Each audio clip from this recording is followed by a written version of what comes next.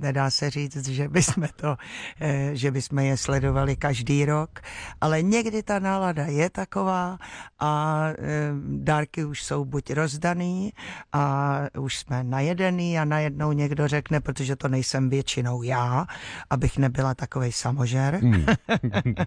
tak většinou někdo z rodiny řekne, a co kdyby jsme si dali pelíšky zrovna teď poběžej? No tak jsem vždycky moc ráda, když to někdo z rodiny řekne.